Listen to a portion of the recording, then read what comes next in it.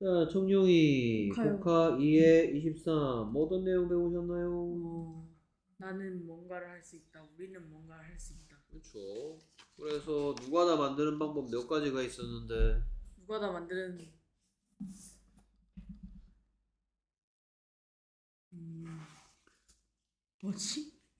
한 가지. 응? 또 생각이 안 납니까? 누가 다 만드는 방법 몇 가지가 있었는지? 비동사 하다시 어. 양념시 그렇죠. 그 중에서 지금 여기 나온 누가다는 세 가지 양념시. 방법 중에서 양념씨, 캔 그렇죠. 양념씨도 종류가 있는데요. 어떤 능력을 얘기하고 싶을 때 쓰는 양념씨는 위로 캔 어떤 위, 능력을 표현할 때 쓰는 양념씨는 뭐다? can 왜? 네? 왜? 능력을 표현할 때 왜 양념씨 쓰는 can을 쓸 수 있는 겁니까? 음, can의 뜻이 뭔지를 얘기하면 금방 답이 될 것 같은데. 뭐뭐를 할 수 있다. 그 다음에 미래 미래에 뭐뭐 할 것이다 라는 표현할 때 쓰는 양념씨는 뭐예요? should 뭐라고요? should should 아니야? 수업하고 있어서 못 가서 공부를 했는데 너 뭐지? 미래를 표현 너뭐 뭐 이렇게 방황하고 있냐? 1대1 수업할 준비 하고 계시고요 미래를 표현하는 표- 양념은 뭐예요? 쓰는 어, 미래를 표현할 때 쓰는 양념은 무슨 뜻을 갖고 있으면 될까요? 표현의 뜻은 뭐뭐 할 것이다. 오케이. 능력이고. 미래를 표현할 때 쓰는 양념은 무슨 뜻을 갖고 있으면 될까요? 아, 참, 참, 미안. 표현의 뜻을 잘못 썼네요. 표현의 뜻은 뭐뭐 할 수 있다니까, 능력을 표현하는 거. 미래를 표현할 때 쓰는 양념은 무슨 뜻을 갖고 있는 양념이면 될까요? 뭐할 것이다. 이 뜻을 갖고 있는 양념은 누구예요? 아 위리구나. 그 다음에 의무를 표현할 때 쓰는 양념 의무를 표현할 때 쓰는 양념은 무슨 뜻을 갖고 있, 는 양념이 될까요? 뭐뭐 해야 한다. 이 뜻을 갖고 있는 양념은 뭐예요? 음, 슈드 맞네. should 슈드구나. 이외에도 추측을 할 때 쓴, 아, 표현할 때 하거나 허락을 표현할 때 쓰는 양념. 추측을 표현하는 양념은 무슨 뜻을 갖고 있으면 될까요? 뭐 할지도 모르는. 허락을 표현하는 양념은 이건 뭐예요 양념?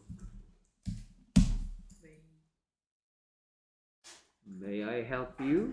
아, 내가 너 좀 도와줘도 될까? 라고 상대방한테 추측하고 있어요 상대방한테 허락받고 있어요 허락이. It may rain today. 오늘 비가 내릴지도 모른다 라는 표현이 영어로 뭐라고요? 오늘 비가 내릴지도 몰라. It may rain today. 오늘 비가 내릴지도 몰라. in May rain today. 허락을 하고 있습니까? 추측하고 있습니까? 추측. 이런 거 can, will, should, may 같은 애들을 양념시라고 한다. 그 중에서 오늘 배우는 문장들은 어쨌든 양념은 누가 다 만드는 세 가지 방법. 첫 번째 비동사. 비동사 am, is, are, was, were 그 다음에 하다시 do 또는 does, 또는 옛날 얘기 did. did 그 다음에 세 번째가 양념시인데 그 중에 오늘 양념식 또 그 양념시 중에서도 능력을 표현하는 can에 can. can이 있는 시작 I can, we can. I can, we can I can, we can. okay. I can play golf. I can play golf I can play golf. 오케이 그러면 여기에서 나는 골프 칠 수 있다 라는 표현 영어로 뭐였더라 나는 골프 칠 수 있어요가 뭐였어요 I can golf. I can golf였습니까 I can. 골프가 아닌가?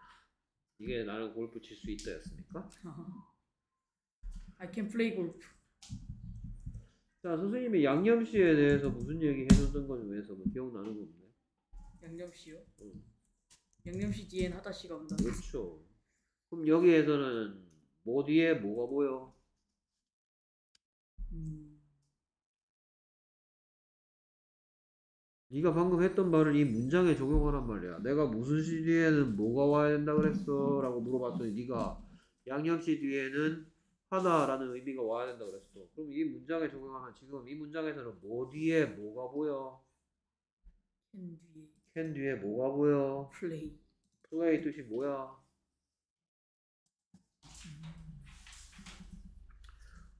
플레이, let's play 하면 무슨 뜻이에요? Let's play요. 어, let's play.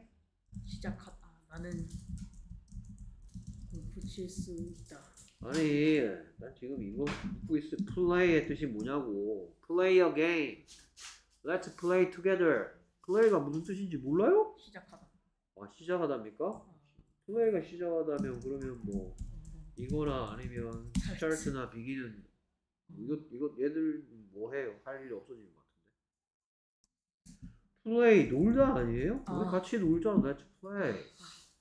어?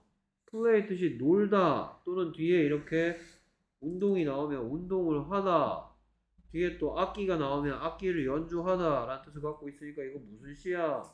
하다씨. 헤이 이 대답 듣고 싶어. 여섯 가지 질문 중에 여섯 가지 뭐에 대한 대답이야? What 그러면 우리말론 뭐라고 묻겠다? What can you do? 인가?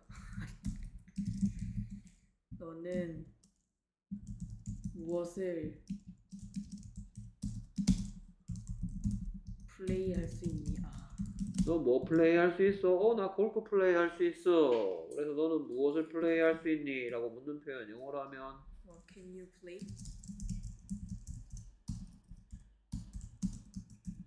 오케이, golf.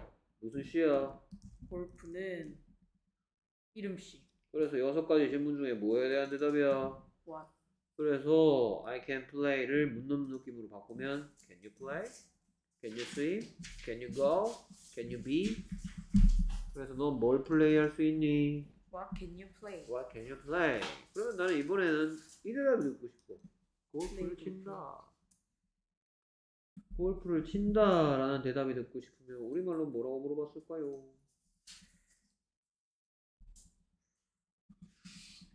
너는 무엇을 칠 수 있니? 인가? 아닌가? 할 수 있니? 너 뭐 할 수 있어? 자, 이거 내가 무슨 시 포함된 게 궁금하다고 얘기하고 있는지 또 얘기해야 돼요, 아, 지금? 하다씨. 어? 그러면 넌 뭐 할 수 있니? 라고 물을 거고, 영어로 넌 뭐 할 수 있니? 라는 표현은 뭐겠다? What can you do? What can you do? 모든 하다시의 대장이 뭐니까? Do. 그래서 하다시 포함된 게 궁금하면 하다시 있어야 될 자리에 Do. 원래 있던 하다시 그 자체가 궁금하다 했으니까 네. 하다시 대장인 do를 갖다 두면 된다. 네. 너뭐 할 수 있니? What can you play? 아니, what can you do? 오케이. 묻고 답하기. 그래서 What can you do? What can you do? 그랬더니 I can play golf. I can 골프 아니고요. 아. I can play. 양념시 뒤에 꼭 하다시 넣어야 한다 했습니다. 네. 오케이. 계속해서 We can play soccer. We can play soccer. We can play soccer. 오케이. 그래서 우리는 축구할 수 있다라는 표현이 오늘 뭐였어요? 우리는 축구할 수 있다. 영어로 Can play soccer. 오케이. 그러면 이 대답 듣고 싶어. 어, Play soccer요? 영어로 우리는 뭐- 무엇을 할 수 있니? 이? 어, 너희는 아 너희는 이구나. 너희는 야, 니네들 수뭐할 수 있어? 어, 우리 축구할 수 있는데. 그래서 너희들은 뭐 할 수 있니? 라는 표현은 What can you do? 그렇죠. 자, 내가 그- 선생님이 유에 대해서 조심해야 될 거 뭐 얘기해 준 적 있습니까? 너희들. 상대방 한 명도 너란 뜻의 말도 유고 상대방 네, 여러 명 너희들이란 뜻을 가진 말도 똑같이. 유다. 네. 됐습니까? 그래서 you가 들어있는 질문을 했을 때 대답이 I가 될 수도 있고요. 네. 또 상황에 따라서는 I 말고 we가 될 수도 있습니다. 됐습니까? 오케이. 그 다음에 계속해서 아참 그리고 너 3차 시험 칠 준비는 됐냐 민철이? 비동사가 무서워요. 자 계속해서 다음 I can play the drum. I can play the drum. drums. I can play the drums. 오케이 그래서 여기 눈치챘는지 모르겠는데 네. 뭔 악기를 연주할 수 있다라는 표현할 때 악기 앞에 계속 뭐가 나오던가요? 이 앞에 음, play. 플레이가 나오던가요? 그래요? 오케이. 또 드럼 여섯 가지 질문 중에 여섯 가지 질문 중에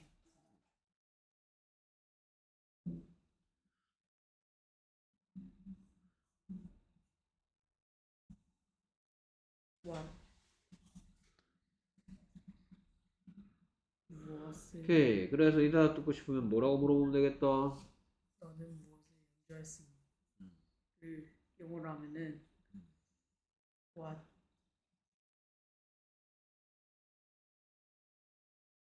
what can you play?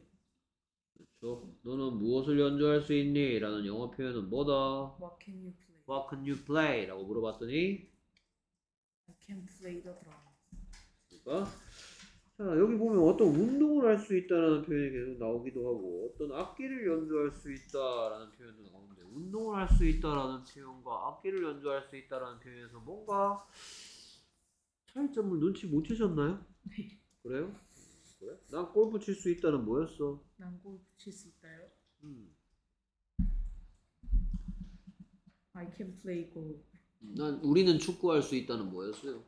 I can play soccer. We can play 아, soccer. we can play soccer. 그렇지. 그 다음에 나는 북을 연주할 수 있다라는 표현은 드럼이 can 북 play the drum.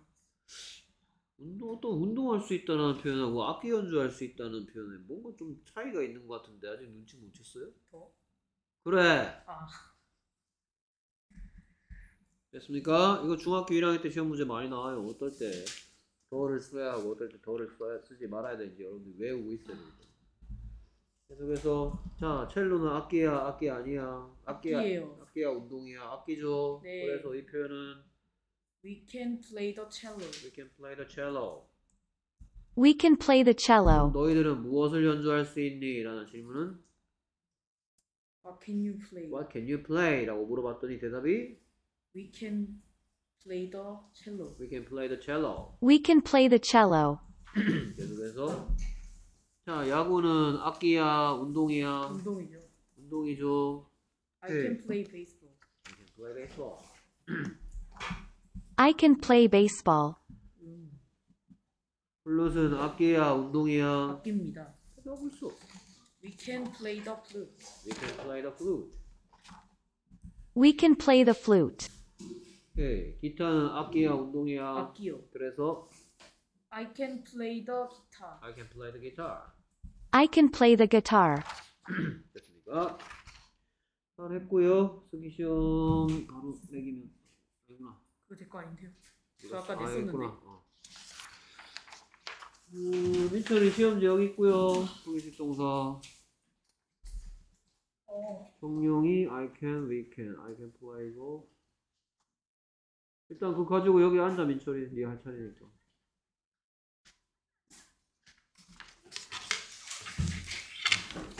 몇 개나 맞았어